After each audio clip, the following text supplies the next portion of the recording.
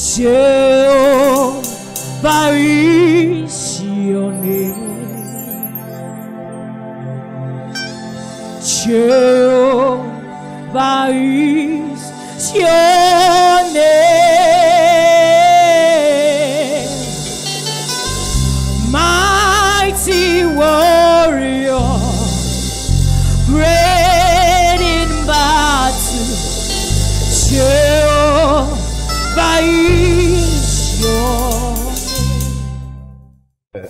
one can say Jesus Christ is Lord without the power of Jesus assisting that person.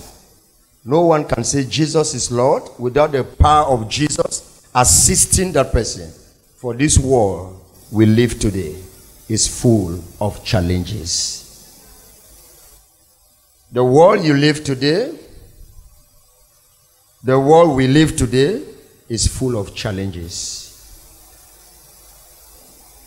If it is not spiritual attack, it is physical attack. If it is not a nightmare, it should be sickness. You will realize that the life of faith can never be without a challenge. The life of faith can never be without what? Without a challenge. A farmer can never be home without seeds. It's impossible. A- A farmer, if you visit a farmer, you always find seed. Seed he has preserved for next season. That is a proof that this man is a farmer. So your proof to show that you're a child of God, that proof is a challenge. It is our challenges that helps us to understand God's power. It is our challenges that helps us to understand the faithfulness of God. It is our challenges that helps us to know that salvation is what you need. It is your challenge. Without a challenge, you will not understand that the saving power of God is at work. Many a times we easily and quickly forget about what the Lord has done because He has not done it now. You forget about what He did yesterday. No. Don't easily forget what He did for you yesterday. Just because He has not given you bread now, you forget and begin to curse God. Remember yesterday how He delivered you, how He saved you, how He blessed you. Just think about yesterday. When everyone was against you, He stood for you. Just, just think about yesterday. Don't quickly curse God because He has not given you today. Don't quickly curse God because uh, you feel lonely, you feel rejected. You easily curse God. No. Remember, He did it yesterday. So keep thanking Him. That is why I, I always say we depend on His mercy and grace. What is troubling you? What is your challenge? There's no challenge God cannot handle. Whatever you are going through now, people in the past, people in the Bible, the fathers of faith, they went through it. It's not new. There's nothing new. There's nothing new on earth.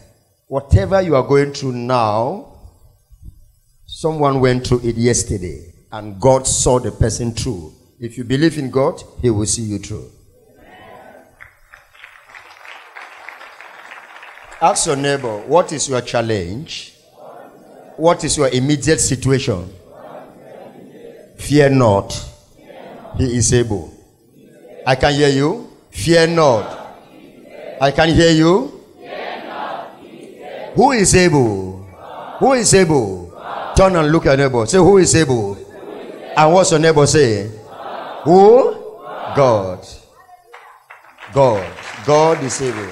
Whatever, whatever you are going through, the secret to attract God's presence is this. When you go through pain, affliction, humiliation, whatever, when you go through anything, don't quickly forget what he did in the past. The moment you forget what he did for you in the past, what he you the spirit of fear will come upon you. And when fear comes upon you, ah, you are finished. For the devil uses fear to attack. The devil uses fear to strike. The devil uses fear to destroy. The devil uses fear to do whatever you are saying. Never be afraid. When you go through something, through pain, affliction, humiliation, whatever, just name it. Think about what he did for you yesterday. It will give you some strength. It will give you faith. It will give you power to move ahead. When you think about what God did for you yesterday, it will give you strength. It will give you faith, power. And don't forget, God uses faith to answer us. The devil uses fear to destroy us. So, for the devil to come to your life, mm, it starts from fear. If you can fight fear, you are fighting the devil. It is fear that connects us to the devil. Fear. While it is faith that connects us to the Father. Fear connects us to Satan Faith connects us to Jesus. Why do you fear? You just fear. Prophet, they have given me a medical report. I don't know what is happening. Why do you fear? Oftentimes, smiles takes away our worries. Ah, they gave you a bad report, just give a smile. Just give a smile.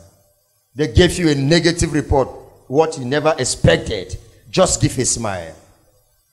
Oftentimes, our smiles takes away the problem.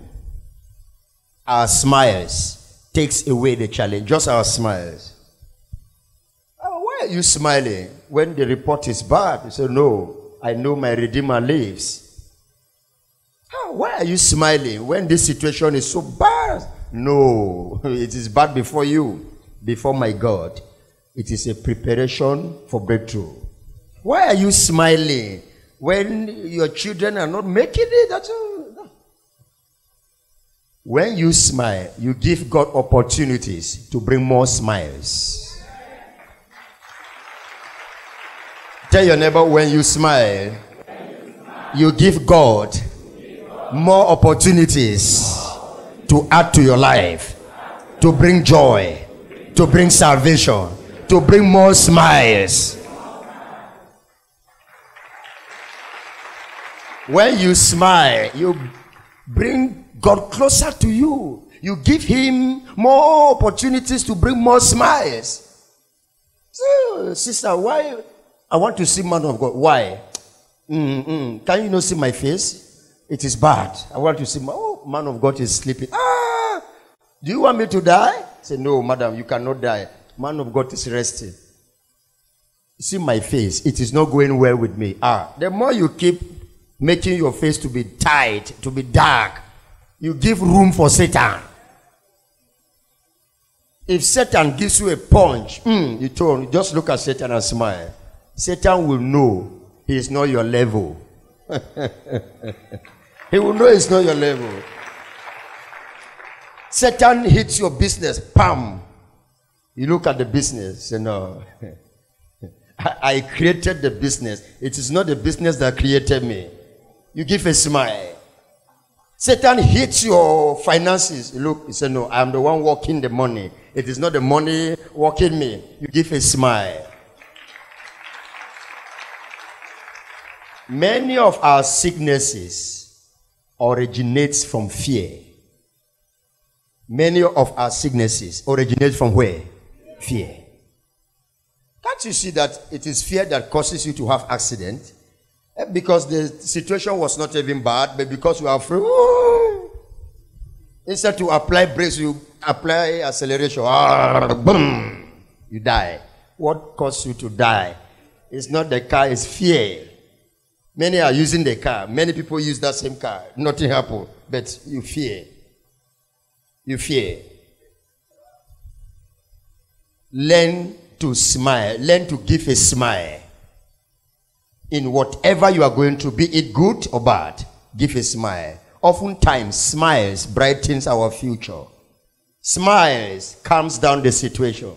Smiles provokes God to add more smile. You turning your face and mm, it's not a good attitude. It's not a good attitude. It brings more pain to your heart. Whether something bad happens, ah, be rest assured that the deliverer of Israel, he that, that neither sleeps nor slumber, the God of the heavenly, I mean, he is alive. He that took care of you right when you are an embryo from your mother's womb, that God is alive. If he cannot deliver you today, does not mean he will not deliver you. If God took upon himself to protect you while you were in the womb up to today, what are you afraid of? Be calm. The storms you are seeing will soon be over. Tell your neighbor, be calm. I can't hear you. Talk to your neighbor. Say, neighbor, be calm. The storms you are seeing today will soon be over.